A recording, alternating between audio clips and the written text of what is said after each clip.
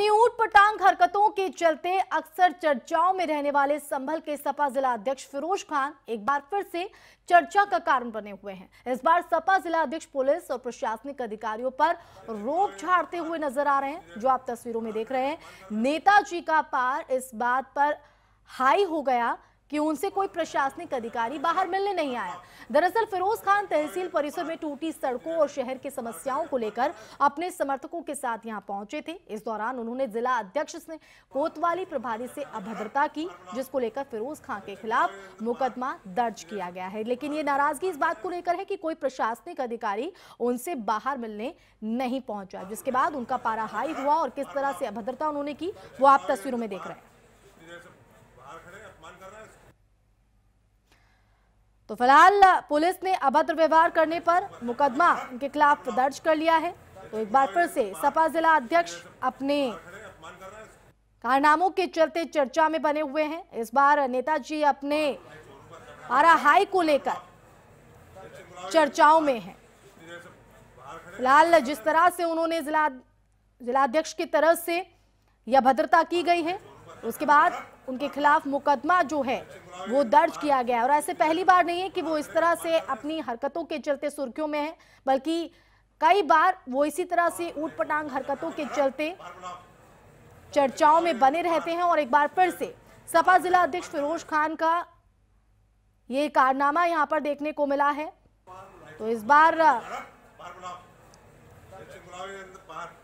तो ये नाराज़गी किस तरह से प्रशासनिक अधिकारियों से ज़ाहिर करते हुए फिरोज खान नज़र आ रहे हैं और साफ़ तौर पर ये नाराज़गी इस बात को लेकर थी कि कोई प्रशासनिक अधिकारी उनसे मिलने नहीं पहुँचा था। संवाददाता सद्दाम हुसैन हमारे साथ जुड़ गए हैं। सद्दाम, एक बार फिर से अपनी उठपटांग हरकतों को जाने जाने वाले एसपी जिला अध्यक्ष फिरोज खान चर्चा में बने हुए और इस बार अपने अभद्र व्यवहार को लेकर सुर्खियाँ बटोर रहे हैं। जी, ये तस्वीरें जो है कल की है ये समाजवादी पार्टी के जिलाध्यक्ष हैं फिरोज खान। और अपनी ऊट पटांग हरकतों को लेकर अक्सर ये चर्चाओं में बने रहते हैं। और पूर्व में भी इस तरीके की हरकतों को लेकर ये सोशल मीडिया से लेकर मेन स्ट्रीम मीडिया में इनकी तस्वीरें वायरल हुई है। और एक बार फिर ये जो कि सदर कोतवाल है, अमित कुमार, उनके साथ अभद्र व्यवहार करते हुए तस्वीरों में कैद हुए और वीडियो वायरल होने के बाद इनके खिलाफ मुकदमा दर्ज कराया गया है। और इसमें इस पुलिस की तरफ़ से ही इनके खिलाफ मुकदमा दर्ज कराया गया है। तो लगातार इस तरीके से बदतमीजी भरे इनके वीडियो सामने आने के बाद तो कहीं ना कहीं इनकी पार्टी को इस पर संज्ञान लेना चाहिए। और अक्सर इस तरीके से हाईलाइट होने के लिए अपने आप को चमकाने के लिए इस तरीके के हथकंडे ये अपनाते रहते हैं।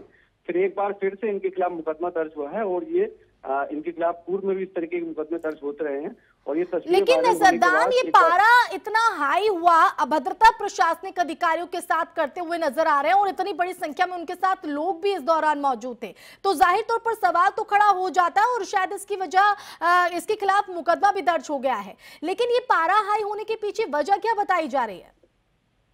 जी मैं आपको बताना चाहूँगा सड़कों के गड्ढों के लेकर ये ज्ञापन सौंपने गए थे एसडीएम संभल के यहाँ पर। और जब इनको ज़्यादा देर काफ़ी देर हो गई है उनके दफ्तर के बाहर खड़े हुए और तभी अचानक कैमरा देखा इन्होंने कैमरा देखने के बाद इनका जो पारा है वो हाई हो गया और अपने आप को चमकाने के चक्कर में ये इंस्पेक्टर से वहाँ पर भिड़ गए और तस्वीरें वायरल होने के बाद जो कि ज़िले के पुलिस अधीक्षक है उन्होंने संज्ञान लिया और इनके खिलाफ मुकदमा दर्ज हुआ है और पुलिस का दावा है कि इनके खिलाफ सख्त कार्रवाई की जाएगी। जी। चलिए सद्दाम शुक्रिया जुड़ने के लिए।